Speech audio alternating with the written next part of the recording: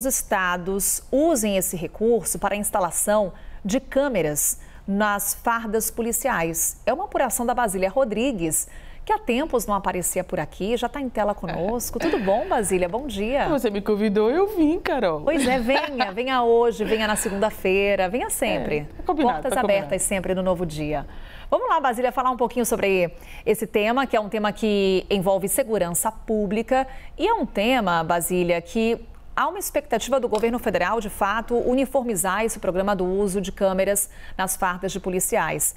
Ao destinar esse montante de 100 milhões de reais, é o início dessa uniformização do programa?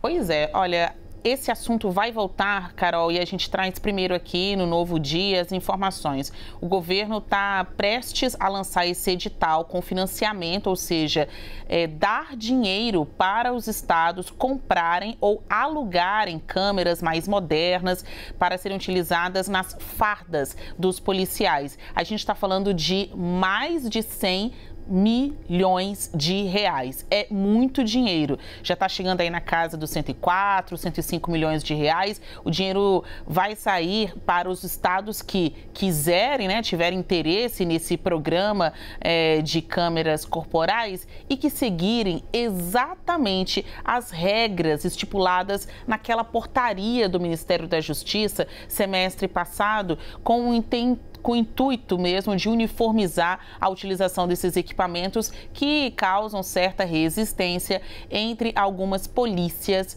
no Brasil. Quarta-feira, Carol, eu estava aí em São Paulo e apurei, junto com comandantes da, da, das polícias militares de todo o país, uma reunião que teve deles com o secretário nacional de Segurança Pública, o Mário Sarrubo, que é o secretário aqui do Ministério da Justiça, em que vários assuntos foram conversados aí, ó, frente frente a frente governo federal e comandantes das PMs em todo o país. E um ponto principal deste encontro foi o uso das câmeras em fardas.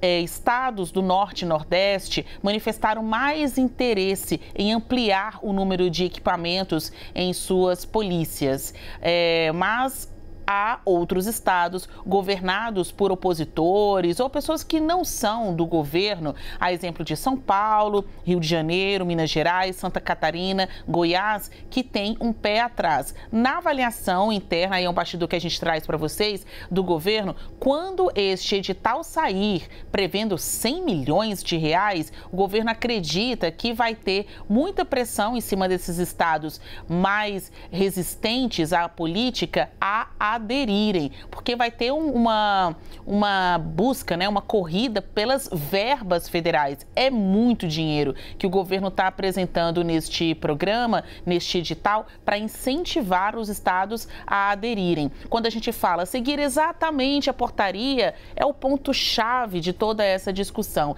Que as câmeras fiquem ligadas durante todo o tempo de operações e atendimentos do policial com a sociedade seja a sociedade que ele protege, seja parte daquela sociedade que ele coíbe, porque é formada por criminosos. Então, sempre que o policial estiver em campo, numa operação policial de fato, ou numa prestação de serviços à comunidade, esta câmera precisa estar ligada. Não vai depender do botãozinho do liga e desliga, da vontade tão somente do policial. Estas são as diretrizes do governo federal federal. Os estados que seguirem poderão tirar aí um naco desses milhões de reais para conseguirem comprar ou alugar câmeras mais modernas para serem utilizadas nas fardas policiais. É isso, te dou o dinheiro, mas é do meu jeito, com minhas regras, né, Basília Excelente Rodrigues? tradução de tudo isso que eu falei, perfeitamente. E se o assunto é dinheiro, né, o cobertor curto, os estados vivem reclamando, estados, prefeituras, autoridades públicas como um todo, dessa demanda excessiva para um baixo orçamento. O governo está mostrando, eu tenho dinheiro, siga as minhas regras. Basília Rodrigues, daqui a pouquinho a gente conversa mais. Basília, direto de Brasília.